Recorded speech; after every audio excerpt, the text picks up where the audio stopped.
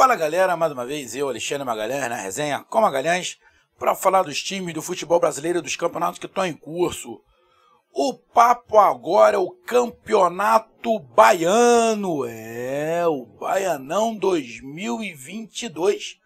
Já vou de cara logo mandando um abraço o meu amigo Celestial Miranda, do canal Conexão Tricolaço. Um abraço, Celesta. Celestial, você me mandou uma mensagem mas eu estava impossibilitado até de responder, parceiro. Tá? Possibilidade até de, de responder. É, a partir de abril, a partir de abril não, a partir do, do finalzinho agora de março, eu vou dar uma. ter um pouco mais de tempo para me dedicar é, também aqui ao canal, para poder voltar a fazer live, a participar de lives, porque esse período agora está um pouco conturbado para mim é, é, é, em relação ao trabalho, é, então, tá meio, tá meio complicado de vez em quando eu dar atenção, mas a partir do finalzinho de março agora, início de abril, vou dar uma, uma folga, vai, vai ficar melhor para a gente poder é, trocar aquela ideia, participar de uma live, chamar para uma live. Valeu, meu amigo Celestial Miranda, tamo junto. Mandar um abraço também para meu amigo Washington, lá do Baiana Europa. Mandar um abraço para a rapaziada lá do canal 2 a 1 Um grande abraço. E mandar um abraço também para grande, para grande, para meus grandes amigos que estão aqui no nosso WhatsApp, aqui, ó, no nosso WhatsApp Resenha com Magalhães. Galera do WhatsApp do Resenha com Magalhães, um abraço para vocês, acompanham muito, de vez em quando eu entro, de vez em quando eu não consigo entrar, tá? Para bater um papo, mas me amarro na, na resenha que vocês fazem. De vez em quando eu morro de rir, né? Que tem, tem, tem as discussões, mas isso é legal, isso é futebol, beleza? Eu sei que o Bahia não está muito feliz, sei que a torcida do Bahia não está muito feliz, a gente vai falar sobre isso. Então, o campeonato baiano chegou na sua fase, terminou a sua fase de grupos, né? De confrontos. Agora vai para sua fase semifinal. A dupla Bavi tá fora das semifinais. Se por onde eu li, eu vou dar até aqui a fonte, né? É aqui a fonte aqui, acho que é o site, deixa eu dar uma olhada aqui correio24horas.com.br. Essa é a fonte que eu coloquei aqui. Rapaz, desde 1931 1931 que o campeonato não vai contar com Bahia ou Vitória. 1931.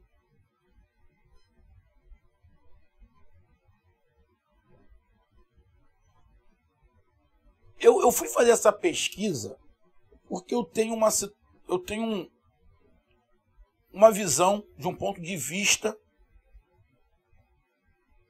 sobre uma declaração do Guto, tá? Rápida, sobre uma declaração do Guto que ele deu no início. Agora eu não me lembro se foi no início do trabalho dele, se foi, se foi no início desse ano. Vamos ver. É, a dupla Bavi está fora. Dentre os quatro semifinalistas está os dois, os dois finalistas do ano passado. Os dois finalistas do ano passado voltam, voltam. É, a estar disputando de novo.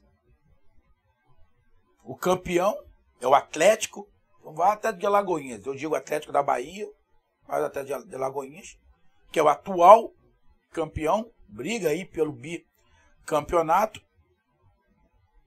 É, vai decidir em casa, enfrenta o Bahia de Feira, temos um Bahia na semifinal, mas é o de Feira de Santana, na qual eu conheço Feira de Santana. Quando eu vou a Natal, eu passo por Feira de Santana, indo e voltando. Não conheço a fundo Feira, na, é Feira de Santana, conheço ali o centro, né? É onde, de vez em quando, eu paro para poder descansar da viagem, almoço. Mas conheço, já passei, parei em Feira de Santana. Mas o detalhe é esse. Bahia, gigante. Vitória, reconhecido, bem no Brasil todo. Fora, fora das semifinais. É interessante isso. Interessante isso. Interessante e pode-se dizer preocupante? Cara, é...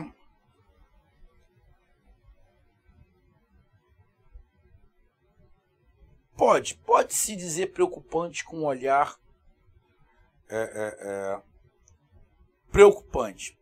Bom, é sobre isso que a gente vai falar. As semifinais ficou Jacuipense e Barcelona, de Ilhéus, que eu quero conhecer Ilhéus, e Atlético e Bahia de Feira. Interessante, a gente vai acompanhar. Para mim, que sou do Sudeste, e para o Brasil inteiro que está olhando, olha para o campeonato baiano. Eu quero que a torcida baiana, em geral, não estou falando só do Bahia. Não estou falando só do Bahia. A gente está falando de Bahia e Vitória, que são os mais conhecidos. Apesar de ano passado não ter sido nem Bahia nem Vitória que ganhou. Para começar. É, quem está de fora, olha, Campeonato Baiano. Ué, não tem. Eu tenho certeza que esses torcedores que vivem numa bolha, que só acompanham o seu time, não acompanham mais time de ninguém, quando olhar para o Campeonato Baiano, vai ver escrito lá Bahia, vai achar que é o Bahia da capital, mas não é. É o Bahia de Feira. Vai falar, pô, não, cara, nem Bahia nem Vitória chegaram às semifinais. Tu acha que vão falar o quê? O restante do Brasil? Vão zoar. Lógico que vão zoar. Todo respeito a, a aqui não é menosprezo a nada. Não é menosprezo a Jacuipense, Barcelona, Atlético, Bahia de Feira, não é nada disso. Mas a história do Bahia, a imagem do Bahia, até a imagem do Vitória, que gera no país, é completamente diferente dos quatro que chegaram às semifinais. Então, quando as outras torcidas olham, Meu amigo torcedor de Bahia e Vitória, você acha mesmo que alguém vai colocar o Bahia e o Vitória como um dos favoritos a subir esse ano no Campeonato Brasileiro? Quando começar o Campeonato Brasileiro, o Bahia não é um dos favoritos e nem o Vitória. Não é. É. Então, é para se preocupar. Isso quer dizer o quê? Isso quer dizer que vai ter que se trabalhar muito, irmão. Muito, muito, muito, muito, muito, muito, muito, muito. Então, a gente vai falar sobre esse campeonato baiano que entra agora na fase semifinal. Término da fase aí de grupos e vai entrar na semifinal. Então, já vou pedindo a você, meu amigo torcedor, baiano em geral e torcedor brasileiro que acompanha o canal Resenha com Magalhães. Eu peço que você curta, compartilhe, inscreva-se no canal, dê o seu like, ative a notificação, coloque os seus comentários. Entre no nosso WhatsApp, que é o 022 99 22 54 512, que está aqui embaixo na descrição do canal. Você vai lá, diz o seu nome, o time que você torce, que eu coloco você no grupo do seu time. Só para lembrar, é para falar de futebol, não é para falar de política nem de religião. E se você quiser ajudar o canal a crescer, você pode ajudar através do Pix, que é o número do nosso WhatsApp. Você pode ajudar através do Superchat, quando estiver fazendo lives. E você pode ajudar através do clube de membros do canal Resenha com Magalhães, aqui embaixo Rancho de Azul. Então vamos lá, galera. Deixa eu tomar um golinho de café. Copinho de requeijão, ó. Vamos lá. É... Cadê? Deixa eu pegar aqui rapidamente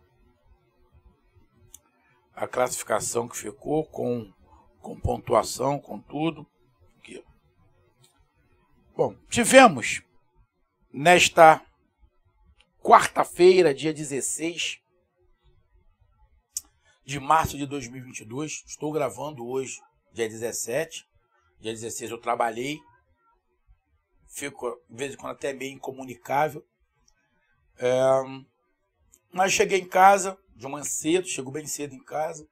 Vou dar uma olhada no resultado, vou dar um, uma olhada em alguns jogos. Dei uma olhada no jogo do Bahia, fez uma boa partida. Vou dar uma olhada no que aconteceu. É, vi muita gente falando, pô, o Bahia tinha que ter, ter jogado assim o campeonato inteiro. Concordo, o Bahia fez uma boa partida. Na verdade, as últimas partidas do Bahia deu uma melhorada. Mas eu vou falar de novo. É, para a torcida do Bahia. A torcida do Bahia não tem que pegar como parâmetro os times que estão na Série A. E quando eu digo times que estão na Série A, eu sei que tem a rivalidade. Eu sei que tem a rivalidade.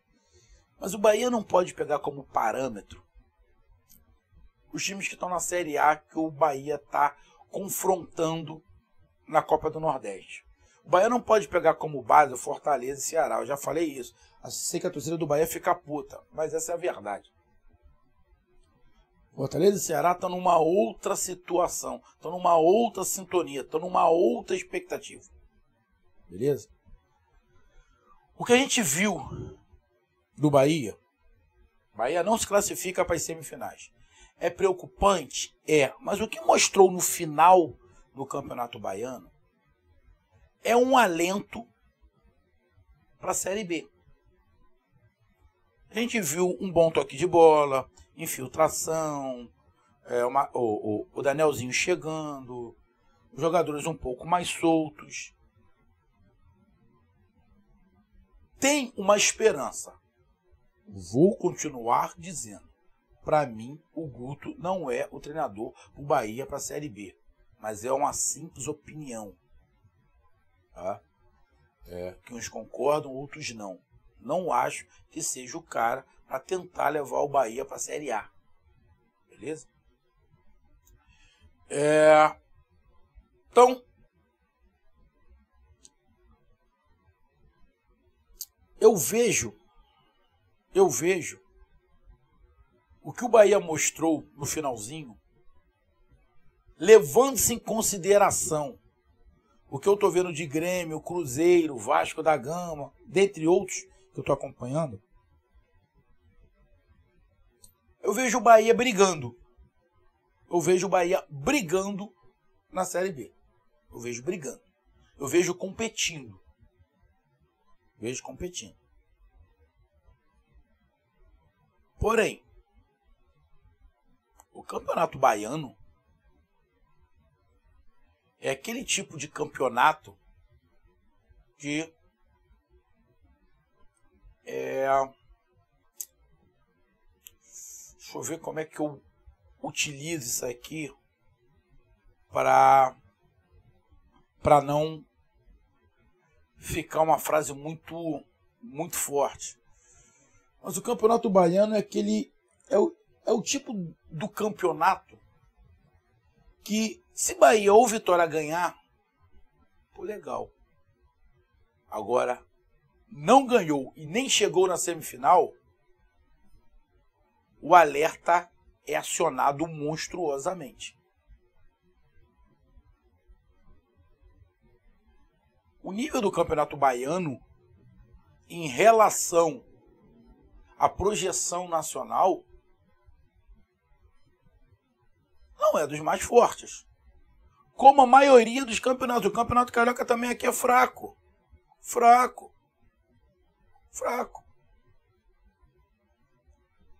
Está fazendo a comparação.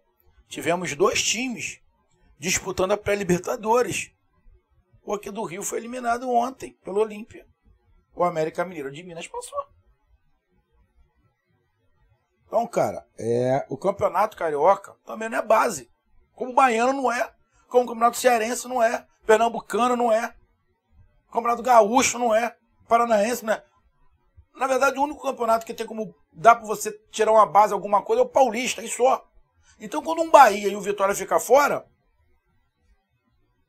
mas tem que se entender a realidade do campeonato. E a realidade do campeonato é que os times do interior da Bahia disputam o campeonato baiano.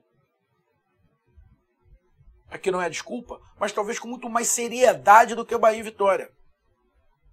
E com muito mais futebol. Porque eles sabem aonde eles estão. Eles sabem onde eles estão. Parece que Bahia e Vitória ainda não sabe direito o que está acontecendo com o clube. Nem Bahia nem Vitória. Por que está acontecendo com a gente? Parece que ainda estão meio que flutuando. Então, sem minhas palavras. É vergonhoso o Bahia e Vitória não ter chegado à semifinal. Ponto. É... Tivemos Doce Mel 1, Barcelona 2. Com isso, o Barcelona foi para a semifinal, ficou na quarta colocação, se eu não estiver enganado. O Barcelona que tirou o Bahia a vitória. Foi o Barcelona.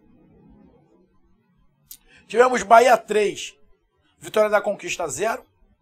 Vitória 2, Bahia de Feira 1. Boa, vi boa vitória do Vitória. Né? De 2 a 1 sobre Bahia de Feira, mas também foi tarde. Também foi tarde. Juazeirense 2, Unirbe 0. E Jacuipense 2, Atlético 3. Jacuipense, que foi a melhor campanha, perdeu de novo, agora para o Atlético. Com isso, a classificação ficou o seguinte. O mais interessante, Juazeirense era a lanterna do campeonato. Era a lanterna do campeonato. E acabou se safando caiu o NIB e Vitória da Conquista. Então, Jacuipense, que já estava classificado em primeiro, com 21 pontos. O Atlético, com 17 na segunda colocação. O Bahia de Feira, também com 17 na terceira colocação. E o Barcelona, na quarta colocação, com 14 pontos. A surpresa é óbvio, é o Barcelona aí na quarta colocação. Decepção, Vitória e Bahia. Ponto. Ponto. Abraçadinhos os dois. Vão ficar putos comigo, mas essa é a verdade. Nadaram no finalzinho, mas não adiantou absolutamente nada. É... Se você pegar. A Jacuipense teve um saldo de gols 9. O Atlético um saldo de gols 7. O Bahia de Feira um saldo de gol 4. Bahia teve um saldo de gol 4, Vitória um, um saldo de gol 1. Bahia fez 13 gols, tomou 9. O Vitória fez 7, tomou 6. A campanha do Vitória também não foi nada, nada espetacular. Ficou na frente do Arquival. Só para ter ideia, o Vitória, que não fez muito gol, um saldo de 1, fez 7 gols, sofreu 6, ficou na frente do Bahia. Ficou em quinto e o Bahia em sexto. E como eu disse, é Jacuipense e Barcelona e Atlético e Bahia. Primeiro jogo, Barcelona e Jacuipense, Mandicão de Barcelona. Segundo jogo, Mandicão e Jacuipense. Atlético e Bahia de Feira. Primeiro jogo, Bahia de Feira e Atlético. E segundo, Atlético e Bahia de Feira. Vamos ser justo? Justo a classificação dos quatro. Ponto.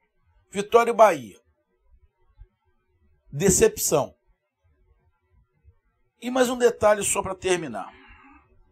O Guto deu uma entrevista dizendo que a torcida do Bahia é, não era para esperar grandes conquistas.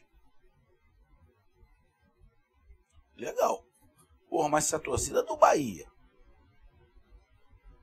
não esperar a conquista do campeonato baiano, que é dos campeonatos que o Bahia vai terminar, é o que tem o nível mais inferior, porra!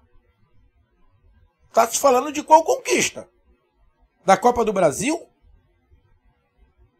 Do Brasileirão da Série B? O campeonato que tem o nível mais baixo do Bahia é o Campeonato Baiano. Porra, se ele está se referindo a isso, pô, irmão,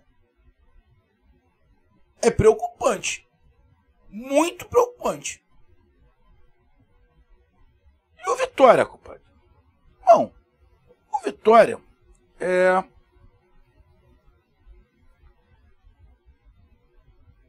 O Vitória vai estar tá aí disputando. É, é, é... Ele está disputando Copa do Nordeste. Ou vai disputar aí é, é, Campeonato Brasileiro, né? Daqui a pouco começa, Campeonato Brasileiro brasileiro pro Bahia também, pro, pro Vitória. Essa parada. Essa parada. Complicado, irmão. Complicado a situação de Bahia e Vitória. Vitória na Série C, Bahia na Série B. É trabalhar agora, irmão. E tentar. É trabalhar e tentar mas que ficou feio, ficou feio. Ficou, ficou. Mas deu uma melhorada no final, Bahia e Vitória. Mas será que é o suficiente? Pelo que o Guto falou na sua entrevista, dizendo que não era para a torcida do Bahia esperar grandes conquistas. Porra, se não pode esperar a conquista do Campeonato Baiano, irmão, um abraço. O ano foi pro ralo. Pelo menos essa é a imagem que está passando do Bahia ficando na sexta colocação é, no Campeonato Baiano. Vamos ver o que acontece. E que melhore Bahia e Vitória. Um grande abraço, até mais, valeu, tamo junto, fui!